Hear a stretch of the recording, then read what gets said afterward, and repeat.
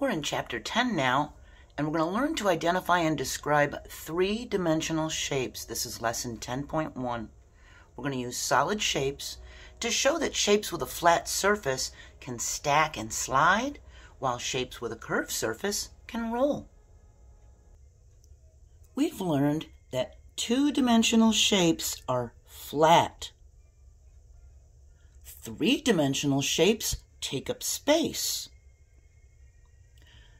A cube is like a box. A cylinder is like a can of soup. A cone, if we turn it this way, it looks like an ice cream cone. That's a cone. And a sphere is like a ball. This is a sphere. So these are three-dimensional shapes. They're not flat. We have a cube, a cylinder, a cone, and a sphere. A cube has flat surfaces. See the flat surfaces on each side?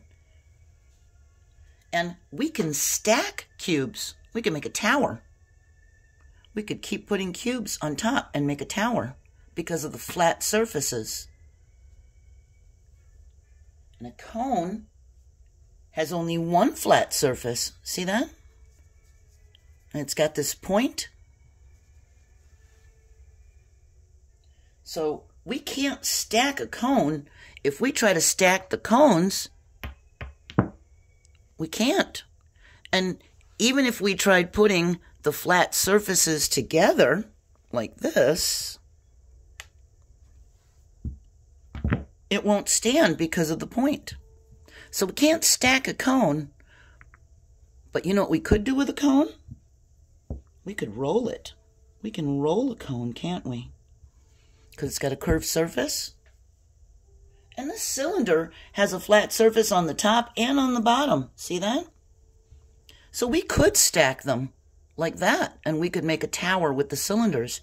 And a cylinder can roll because it's got a curved surface on its side.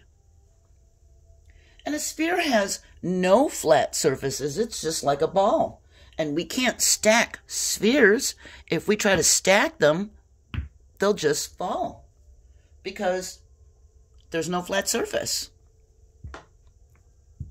So we can stack these, the cube and the cylinder, but we can't stack a cone and a sphere.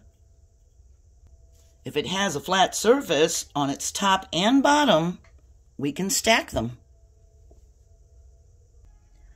We need to sort these three-dimensional shapes into a set that can be stacked to make a tower and a set that cannot be stacked to make a tower.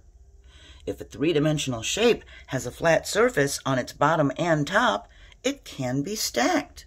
It needs two flat surfaces to stack. So can this cube stack? Can we make a tower with cubes? It's got a flat surface on the top and the bottom. If you said yes, you're right. This does stack. What about this cone? Does it have a flat surface on the top and the bottom? Well, it has a flat surface on the bottom, but it's got a point on the top. So no, that does not stack. What about this cylinder?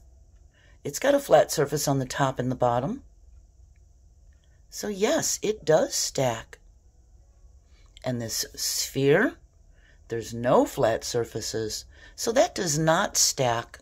So we made sets of three-dimensional shapes that stack and do not stack. So we can sort three-dimensional shapes by whether they roll, if they roll and stack, or if they just stack. If a three-dimensional shape only has flat surfaces, then it just stacks. If a three-dimensional shape has a curved surface, then it can roll.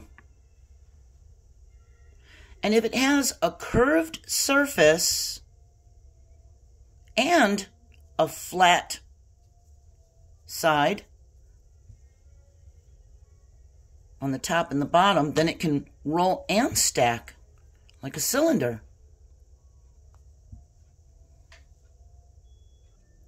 We can sort these shapes by whether they roll, if they roll and stack, or if they only stack.